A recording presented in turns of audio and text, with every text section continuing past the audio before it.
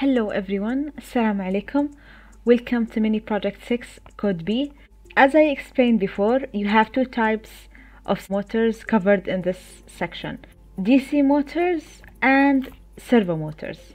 So what is the difference between the DC motor and the servo motor? As I explained before, DC motor rotates 360 and servo motors here they rotate only till 180 degree in DC motor you cannot decide the angle but in servo motor you can have a rotation in a specific angle from 0 till 180 one last thing here is that motor have only two wires but servo motors have always three wires here. So now let's start with Tinkercad.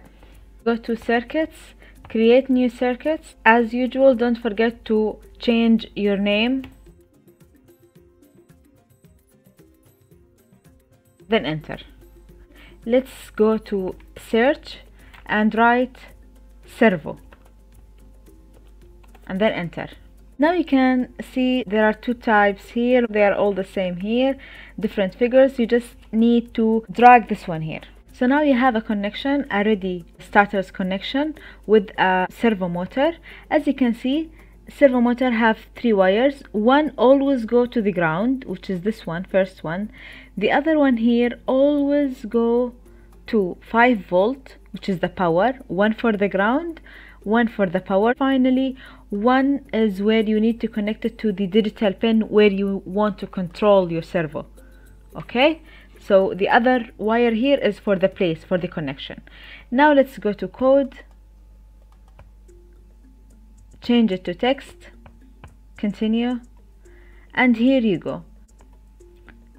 So let me delete everything here and start from the beginning. First of all you have two main functions which are void setup and void loop.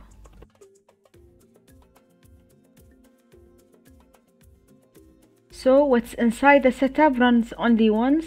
What's inside the loop will run repeatedly for you okay?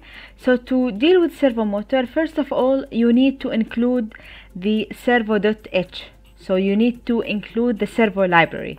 So let's write this one here. Don't forget the s here in capital letter okay? Second step here is to add the servo and give it a name okay? Like before we used to write int and give it a name here we need to create a servo object. How to create it? You need to write servo s here in capital and then give it a name. So you write any name here. Let's call it test servo. And then semicolon. So now I created a servo object and I call it test servo. This is the name here for the servo object. S here in capital and S here in capital. Now in void setup I need to write the code of where did I connect my servo so now this is the name here. Now here you need to write the same name dot attach and then where is my pen connected? As you can see here the number 9 pin is connected to the servo motor here. So here I need to write 9 so finally here inside the loop you can decide what exactly do you want from the servo to do. Do you want it to rotate 90 degree? Just write here 90 if you wanted to, to rotate 180 degree just write here 180 so put into consideration that the angle here should start from 0 till 180 only. Okay? So here this name the object that we name it here then dot write. And then give the angle. So here let's make it 90 degree. So we will write 90 and then semicolon. So let's start the simulation and see the result. So you will find it rotating 90 degree. So to have a better view here or to see the angle in a better way you just give one click here and then rotate it one two three four ten times okay? And then let's start the simulation. Now you can see it's 90 degree easily. So it's see it's 90 degree. From here till here it's 90 degree. Now let's stop the simulation. Let's make it a delay for one second. So it should be faster here. And let's make it 180 degree. So let's start the simulation and see the result so see it's faster and 180 degree. So the delay here is to specify the time of the rotation here. And the test servo here is to decide at what angle you want your servo to rotate. Okay so that's it. Now let's go to mini project 6 and start the project. So this is mini project 6 so the output today is to use the servo library to control the servo motor. So the project for today is to start and then make this the servo motor rotate 0 for 1 second and then rotate 90 degree for 1 second and then rotate 180 degree for another 1 second. So I think you, we can simply do, do this by using the same code here. So first of all 0 second copy paste and then 90 degree again for 1 second and then finally 180 degree for 1 second. Let's start the simulation and see the result. So this is the same code which is written here. Let's go to mini project B. Okay copy everything here. Stop the simulation and paste it over there and let's see the result. Will it be the same?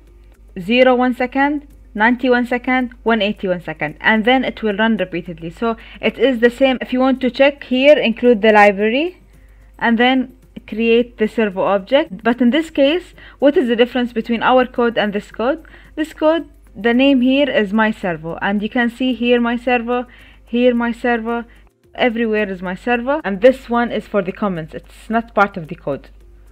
Okay? So now let's go to the first question here.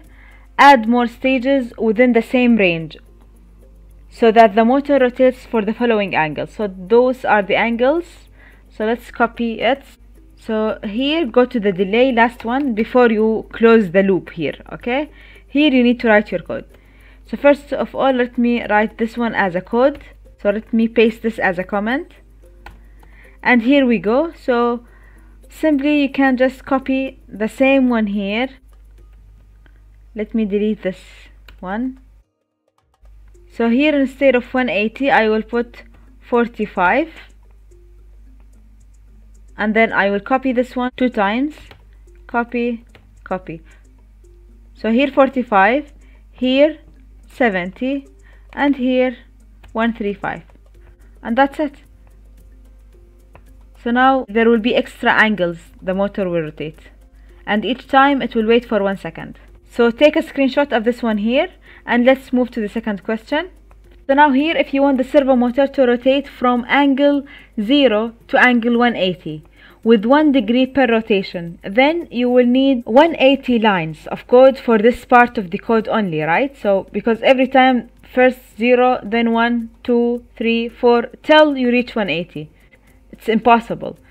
So instead use what you have learned about for loops and rotate the servo through its whole range from 0 till 180 of course because this is the limit for the for the servo. One degree at a time so this is the increment and the delay of 20 millisecond for each rotation so let's start with for loop here.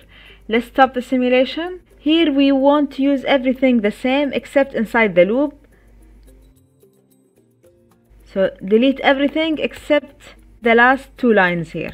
So we will use them here. So now you need to use for loop okay so for and then inside the for you open the bracket and then open for the action here. Okay? So the action is to make the servo rotate. But in this time we want the servo to rotate from 0 till 180 so I will give it a variable. Let's call it position. So let's just call POS for uh, to make it easy for you. So this is position here okay? So inside the for here we need to write three uh, parameters here. The first one is to define the variable so int position and it starts from zero. Okay? The increment here let's make it position plus plus. So each time you will add one to this position. In the middle the position should be less than 180 and finally what is inside the delay is 20 milliseconds. So what is inside here is in milliseconds. So you will just write 20 here. And let's start the simulation and see the result. Will it rotate 180 degree? Yes it rotates 180 degree. Let's stop the simulation. Take a screenshot and that's it. Good luck